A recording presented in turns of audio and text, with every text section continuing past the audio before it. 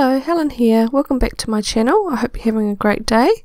Today's card I'm going to be using the W plus 9 stamp called A Kind Soul. My card inspiration today is a card I saw on Pinterest from a blog called Hearts, Hugs and Flowers.blogspot.com and I'm going to do a watercolour version of this in a completely different colour. I'm going to be doing a panel right down the left hand side of my card and I'm going to try and make it look continuous so I'm going to stamp the stamp to start with at the top using the MISTI, stamping it with onyx black ink and then embossing it with Ranger clear embossing powder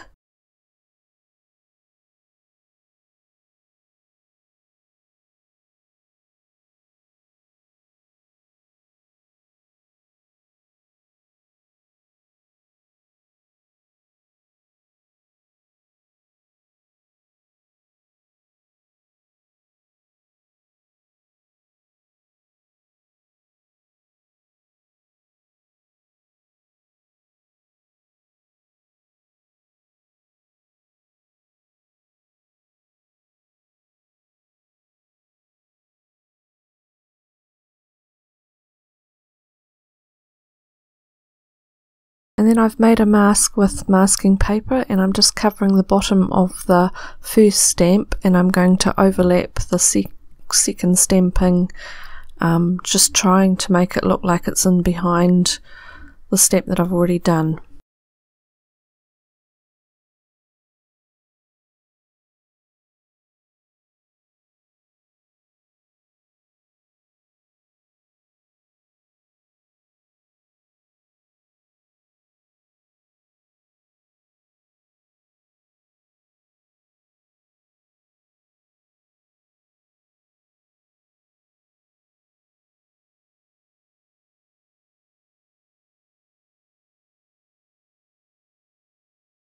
And when you take the mask off, you see that the stamp looks like it's in behind the, the top stamp. So that's exactly what I wanted to look like and it looks continuous. So I just need to put the embossing powder on that and heat it with the heat tool and that's the stamping done for that part of the card. The paper I've been stamping on this time is a new paper to me. I've um, bought some Strathmore Bristol smooth paper. Apparently, it's very good for um, colour blending, that's what I bought it for, but it's also supposed to be very good for watercolouring, so I'm going to have a go with it today. I'm going to be watercolouring with Distress Inks today, and I'm going to be doing a method called wet on wet. So, you start off by using some clean water, and I'm using a number two brush, and I'm just wetting all over on petal by petal and then what I do is just get a little bit of the ink and drop it into where I would want the darkest colour to be or the where the shadow's going to be. And then the water on the paper already um, helps distribute the ink so you let the water do most of the work.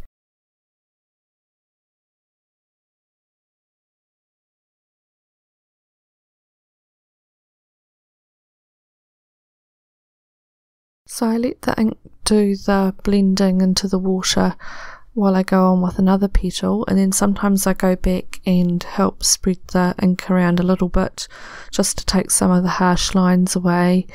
Um, sometimes I might dab it with a paper towel just to take the excess water if there's too much water sitting there or um, sometimes what I'll do is wet the colour. If, if I've put too much colour into a petal, I wet the area where I want it to be lighter and then dab away some of the colour. The Distress Ink's very good for that because you can um, reactivate it with water and um, dab it away so that it lightens it.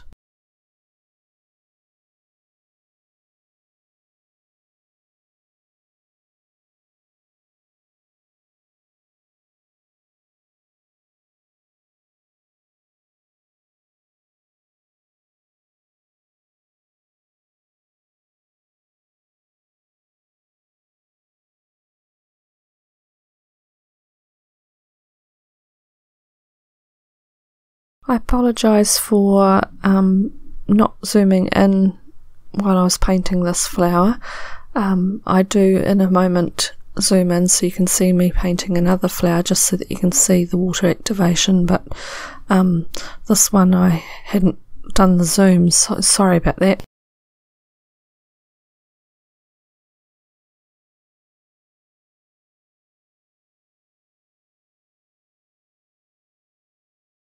As you see, the water really does most of the work in this style of watercolouring. You don't really need to fuss with it at all. Um, it's perfectly okay just to leave it as it is. Um, I'm a little bit OCD with my watercolour painting, so I went back and just took some of the harsh lines away and just softened it just slightly. But you certainly don't need to do all your layers and things like you do with other styles of watercolouring.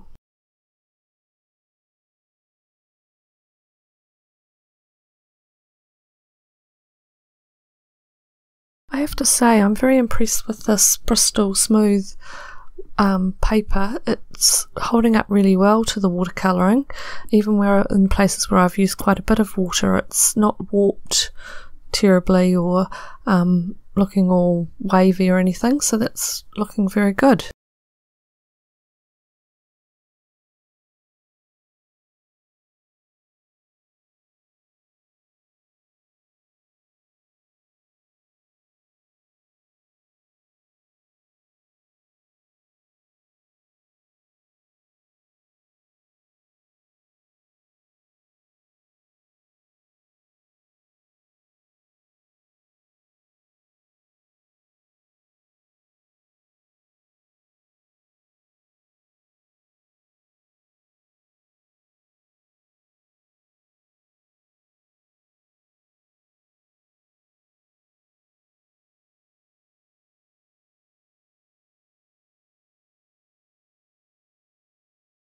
The main colour I've done the flowers is um, Wilted Violet and I thought I was going to use Seedless Preserves to do the centre but it's way too ready coloured. So I've got out some um, black soot and I'm just mixing a bit of that into the Seedless Preserves well, actually, I'm mixing a bit of seedless preserves in with the black soot just to make redden the, the black a little bit, and it's a lot more realistic centre because anemones have quite a dark centre.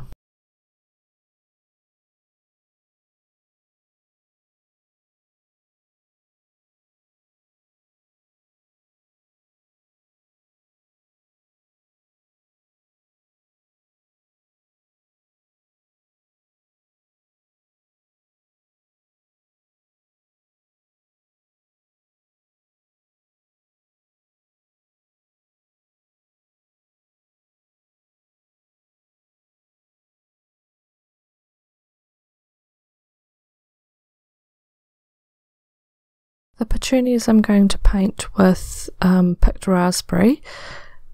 Um, again, I'm just color uh, putting water into the area where I want the main part of the color to be. So um, I'm wetting it all but the center of the flower, and then I'm dropping in little bits of picked raspberry just around where the um, center part of the drawing of the flower is.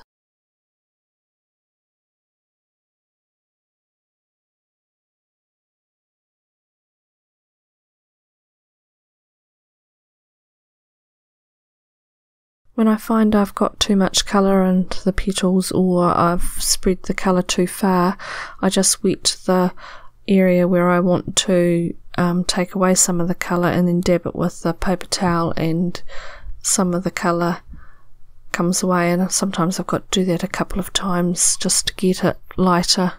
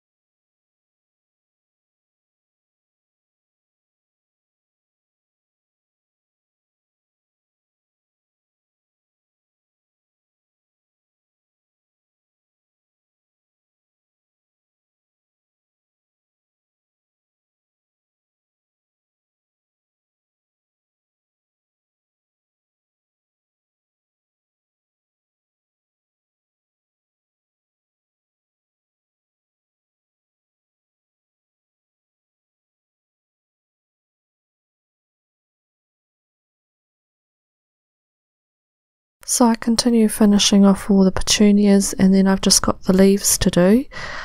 Um, they're very simple. I've just kept them really simple with just um, a wash of the pale green over them and then slightly darker pigment um, where the shadows would be or where flowers are overlapping the leaves. I've used Mowed Lawn Distress ink for those.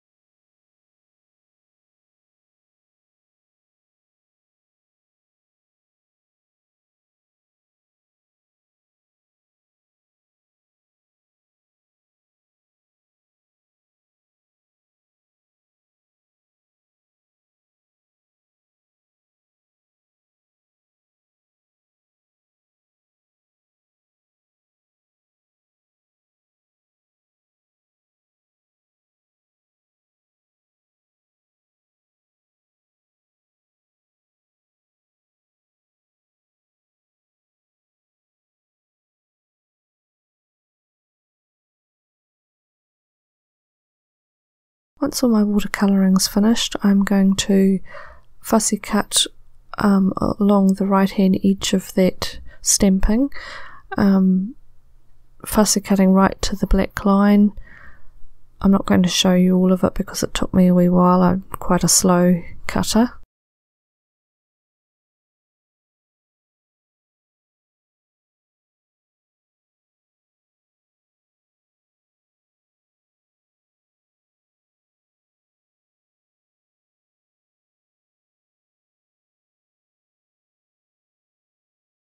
Once I'd finished the fussy cutting, I went down around all the outside edge with a black pen just to tidy up the, the look of it. Now that I've got my watercolour panel finished, um, I've got a card base ready with some lilac card and I've pre-stamped a greeting from the Altenew Birthday Greetings stamp set and now I'm just going to put scotch tape on the back of the watercolour panel. Rather a lot of scotch tape. I'm just wanting to make sure that it's all level and all the leaves that I've fussy cut are all um, supported on the back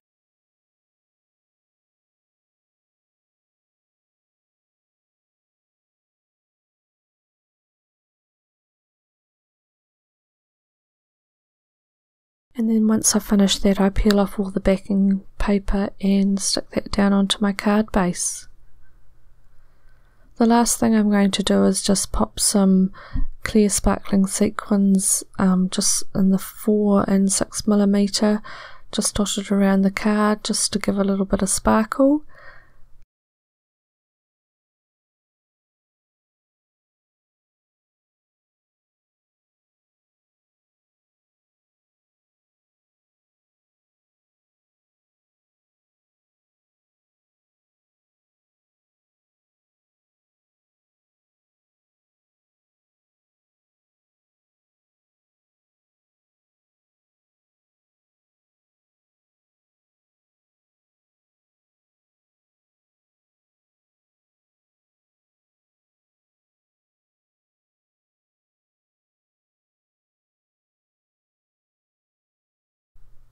And then I've used some Wink of Stella on the centre of the anemones and that's the card finished. Thank you for joining me today. I appreciate your company. Please give me a thumbs up if you enjoyed the video. Please subscribe if you haven't already and I'll see you next time with another card. Bye for now.